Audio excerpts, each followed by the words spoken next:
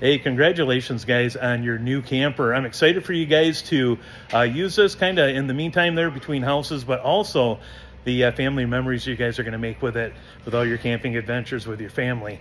My name's Steve from Lakeshore RV. I'm going to do the video orientation on this camper. If you have any questions, though, feel free to get a hold of me, 231-736-9162. Let's get started.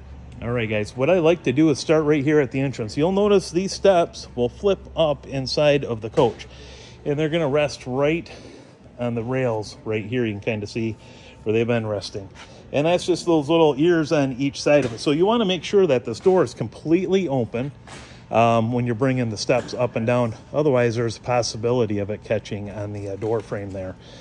As we go around to the front of it, um, you can see right here, you have extend retract. That is gonna be for your front jacks right here to bring those up and down, uh, just like so. And then your pass-through compartment right here is just gonna be um, for storage. As we go around to the front, you have two 20-pound propane tanks, uh, battery in the back, and then also power tongue jack uh, right at the front. So you can see right here for the light switch off on and then up and down for the uh, actual power tongue jack itself. As we continue around to the side, this is the other side of the pass-through storage. And then as we make our way to the back, you can see the couple of slide outs right here, guys. You're gonna have the power cord, which is actually built into this camper right here. Pretty cool. Um, this just pulls out, it'll give you about 20 foot right there. That is a 30 amp uh, cord. City water connection, this is where you're gonna hook a hose up right there. And it'll be a separate spot for the um, uh, freshwater tank fill. Just under that, you can see right there, that is going to be your outlet there. That is going to be for the sewer and the gray water. That's all going to come out of one. And you can kind of see how it's labeled right here. We'll zoom back out. Uh, gray water, black water, gray water. So you're going to have gray water for the bathroom area, also gray water for the kitchen area, two separate tanks. And then uh, black water is going to be the uh, water that goes down the um, toilet there. As we continue around to the back here, if you're at a campground or somewhere that has cable hookup, that's your input right there, where you'll hook that up.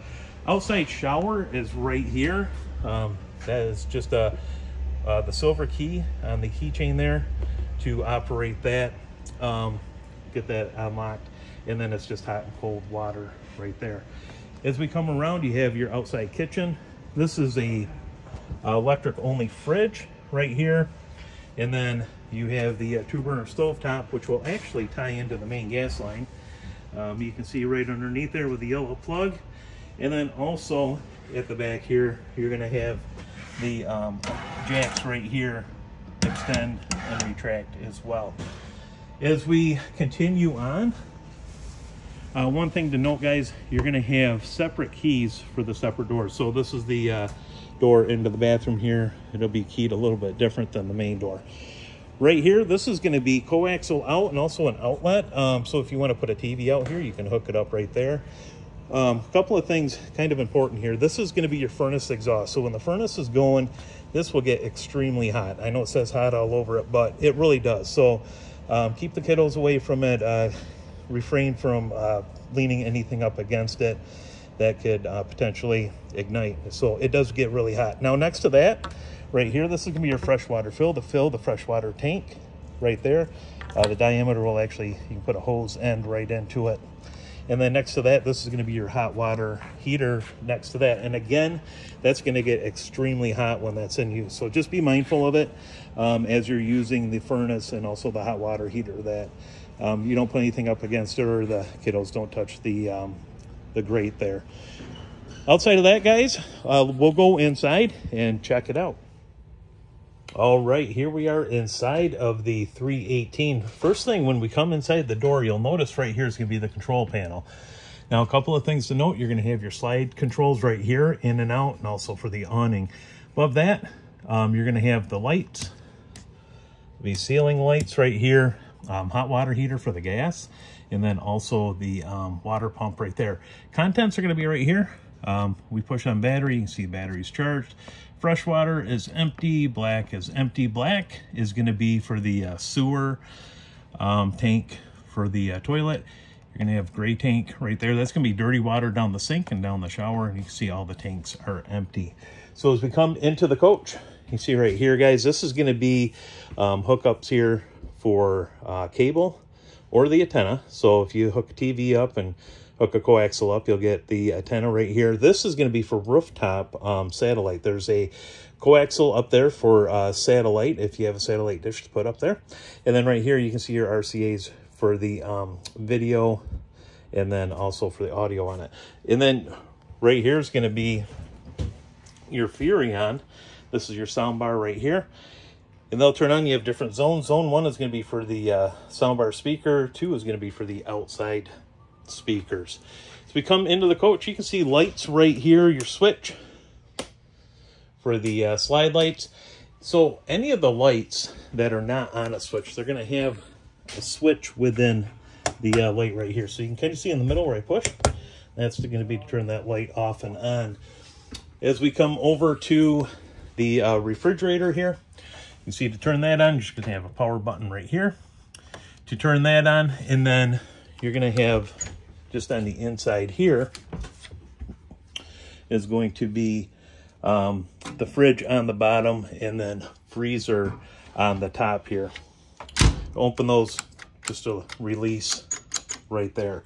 Now underneath this, you're to have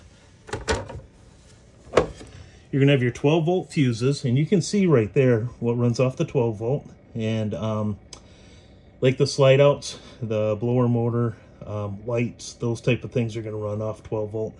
Then also you have 110 um, breakers on it as well. So again, if you're having something that's not working, um, this is going to be your first place to check. Now, when you put a load on, let's say you turn a bunch of lights on, you're running some power, you are going to hear some uh, noise from that. There's the fan back there to keep it cool. So not uncommon to hear that. We come into the bathroom area. Uh, just a couple of things to note here to flush the commode. It is a foot flush. Simply down. And then if you put push down just a little bit, it'll bring water into it. Now it's winterized right now. There's antifreeze through the whole system on this. So you'll want to run the antifreeze out of the, uh, the lines before you use the water in this. One other thing to note right here, this is a GFI outlet. So if this outlet's not working, um, or maybe some other outlets are not working, check that GFI. If that trips, that might take a couple outlets out with it. Now into the um, bunk room here, you can see you've got your storage. Have your bunks here, outlet, outlet, uh, storage under that. This top bunk here, this will flip up and then you can see right there, it'll just pin up to keep it up on each side if you want to keep this bunk up. And then the bottom for seating, and then those will flip out um, for additional sleeping area on the floor there as well. A couple of things when you're traveling, you want to make sure that this lock, the safety lock for the uh, pocket door is on. Otherwise, that door will just freely slide back and forth. Uh, smoke detector is right here, guys. And then there's also a carbon monoxide CO2 detector, walked past it, right down there. So that little black one. Um, one thing to note too, if you're in the bathroom or even out here and you're using some kind of an aerosol can, sometimes that will set off that uh, CO2 detector. So just be mindful if you're using any kind of aerosol around it. It is pretty sensitive, but that is for um, propane leaks and then carbon monoxide. That's the detector for that. Your central vac is right here on off switch and you see where the uh, hose will hook up into it. And then as we come up into the bedroom area here, guys, um, if you want to do a TV, there's a wood backer right here. Just remember that wall is about an inch and a half thick, so don't use too long of a screw to attach the, uh, the bracket and then hookups are at the top there. Um, on each side, you're going to have your storage and then also underneath the bed right here simply lift that up and additional storage under the bed as well. But guys, that is going to be the overview of the camper. I know you're going to have questions on it. Um, and when you get here, we'll, we'll go through it as well. But give me a call if you ever have questions. 231-736-9162. I look forward to seeing you guys soon. And thank you so much for the business.